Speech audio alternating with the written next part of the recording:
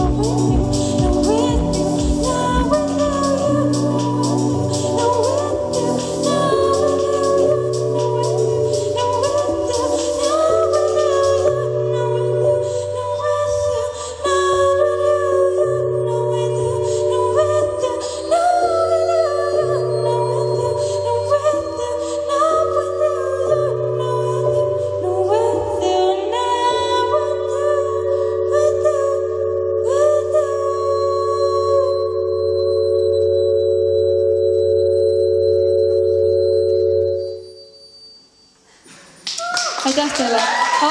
Ma, ma kindlasti tahan veel öelda suur-suur-suur aitäh äh, inimestele, kes kõige-kõige äh, esimestel hetkedel äh, andsid mulle sellist äh,, ütleme siis muusikalist, äh, tehnilist abi, et see on täitsa osku-, noh, et tänu neile üldse ma tõesti sain selle julguse et äh, ma tea, ma ei tea, kas kõik on siin kohal, võib-olla enamus kindlasti, äh, Charlie Kaarnial, suur aitäh sulle, teeme talle suure aplausi. Äh,